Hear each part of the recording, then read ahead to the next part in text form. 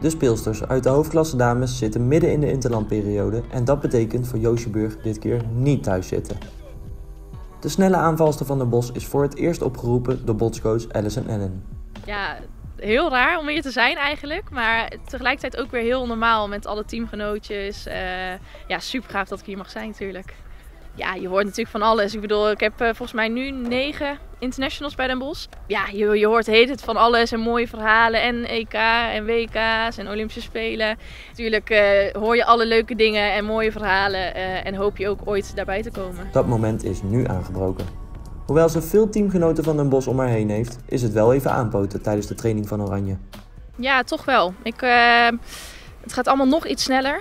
Uh, je moet nog meer op je hoede zijn. Uh, het is toch een andere press dan dat je bij Den Bos hebt. Dus ik denk dat je ergens ook wel andere ja, ideeën in je hoofd moet hebben van wat doe ik met een bal. En, um, dus het gaat allemaal nog een stapje, sneller. Dus ja, dat is het verschil eigenlijk.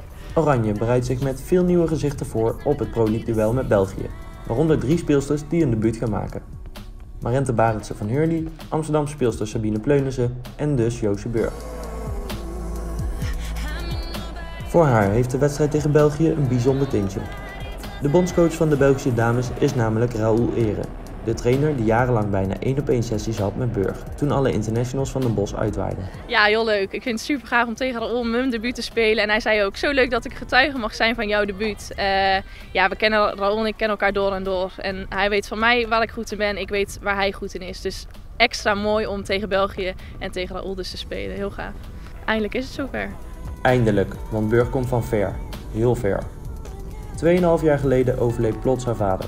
De zwartste dag in haar leven. Hij was haar grootste hockeyfan. Wat had Burg haar vader graag willen knuffelen toen ze door bondscoach Ennen werd uitgenodigd voor Oranje. Ik had kippenvel en ik belde mama en allebei heel erg emotioneel natuurlijk. Dat zijn van die dingen die je dan wil delen en dat kan dan niet en dat weet je, maar ik denk ergens wel dat hij meekijkt. Tijdens het Wilhelmus zal de familie Burg opnieuw een kippenvelmoment beleven. Daarna gaat de knop om en mag ook deze speelster van den Bos zich international noemen. Ja, ik, denk, ik had er wel dus aan gedacht dat ik dacht van dan leg ik zo'n handje op mijn borst. En denk ik, dan denk ik natuurlijk even aan hem, maar het is prima en dat is ook mooi. En dat hoort erbij. Dus uh, ja, ik ga mijn best doen. Ik ga hard werken en uh, gewoon heel veel plezier maken vooral. En dan komt het helemaal goed.